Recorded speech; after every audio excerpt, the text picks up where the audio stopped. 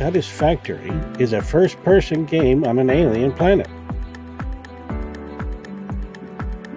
You have been hired by FICSIT Incorporated to search for and extract resources from this planet. You are then to build parts from these resources.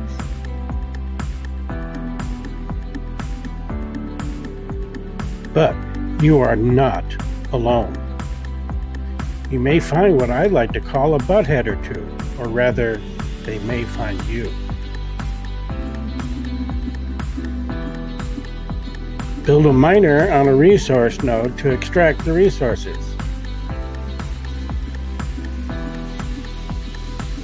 You can watch me on Twitch to see how the game works. I have many issues that make it hard for me to play video games, but I have fun.